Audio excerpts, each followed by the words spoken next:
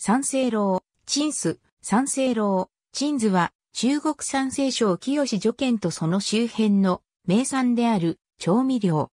日本の常用漢字表記では三星楼、鎮酢とするのが正しいが、本校において慣用に従い、三星楼、鎮酢と表記する。黒酢の一種である。もろこしを主原料とし、大麦と塩土を混ぜたものを麹として用いる。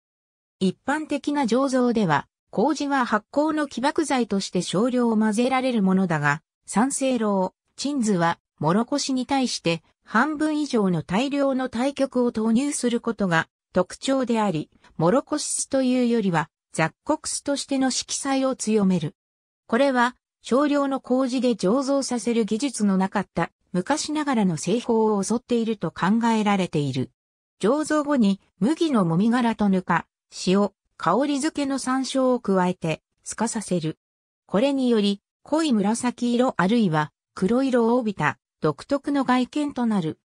20から30日ほどで透かした後に、亀に入れて外気温の中で熟成させる。酸性独特の寒暖の差が大きい気候により風味が増す。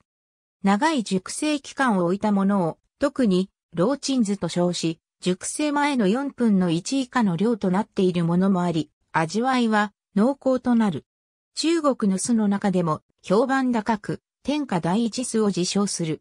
また、しばしは3000年以上の歴史があると標榜される。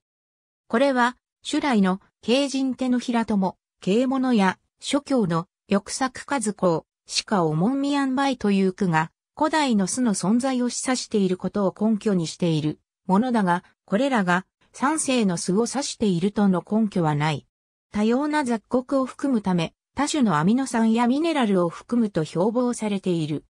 近年の黒酢ブームの中で健康食品としてもてはやされることも増えている。熟成により濃縮された酢は栄養も豊富に含まれていると宣伝される。ありがとうございます。